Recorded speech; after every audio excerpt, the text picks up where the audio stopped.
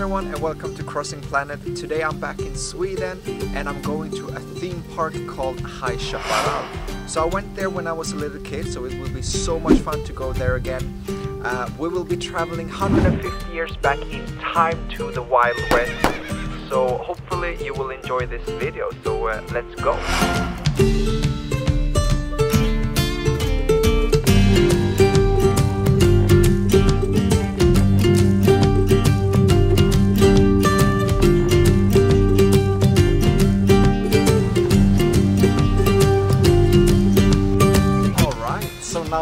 Are inside in this uh, theme park and I actually got uh, my hat from when I was uh, doing farm work in Australia.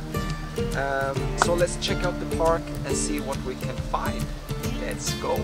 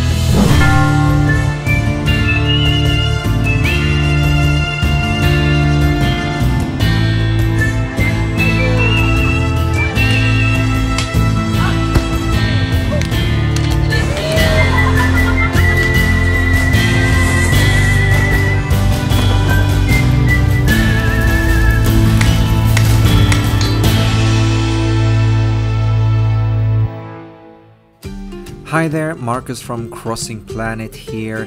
If you enjoyed this video, please hit the like button and subscribe on my channel.